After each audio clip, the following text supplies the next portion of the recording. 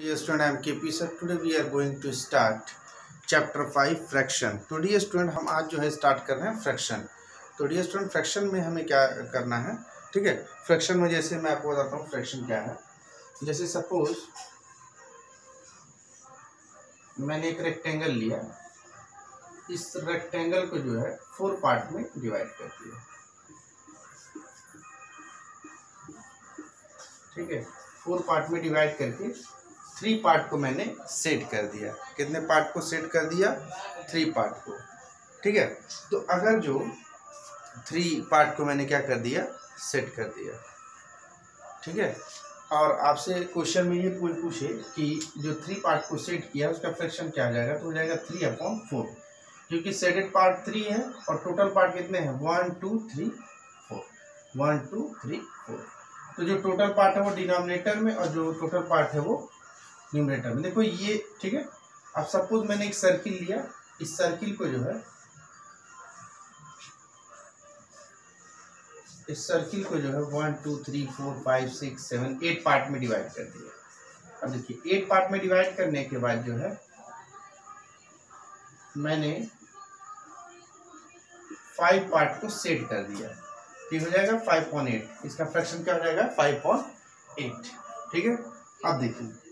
अब जो ये फाइव है, इसको हम बोलते हैं न्यूमरेटर क्या बोलते हैं?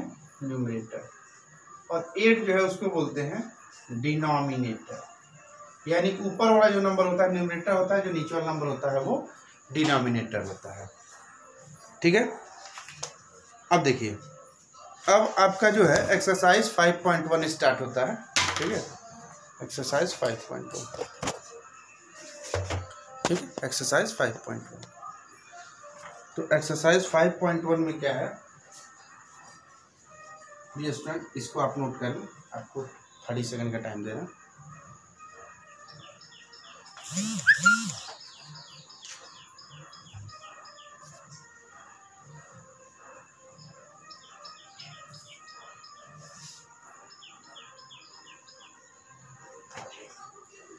तो स्टूडेंट नोट करिए। अब हम जो है एक्सरसाइज फाइव पॉइंट वन की बात करते हैं। तो dear student exercise five point one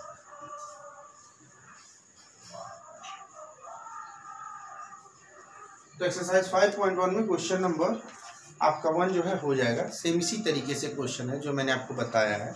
question number two भी हो जाएगा question number three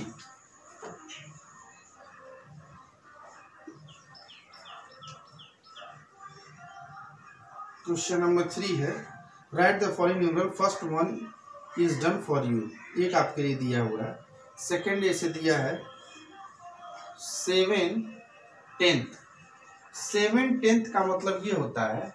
seven numerator में और टेंथ का मतलब डिनोमिनेटर में टेंथ थर्ड दिया है। फाइव नाइन्थ ठीक है? फाइव न्यूमिनेटर में और नाइन जो है डिनोमिनेटर में। जैसे नाइन्थ, टेंथ ये डिनोमिनेटर की बात है, ठीक है?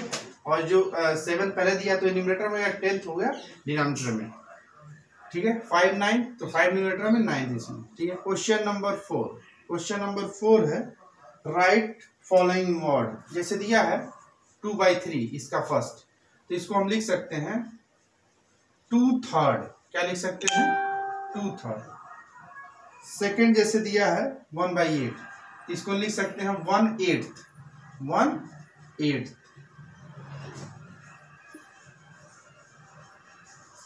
ठीक है, जैसे नहीं होता first second third fourth five six seventh eight nine tenth उस तरीके से। ठीक है? तो डी स्टूडेंट ऐसे हम राइट कर सकते हैं। ठीक है? अब ये आपका क्वेश्चन नंबर थ्री और फोर हो गया। तो डी स्टूडेंट इसको आप नोट कर लें।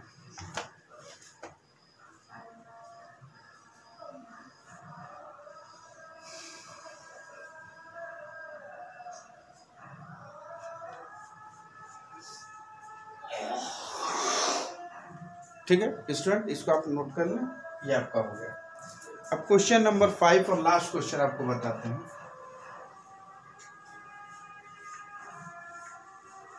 ठीक है? देखिए डिनोमिनेटर में जब भी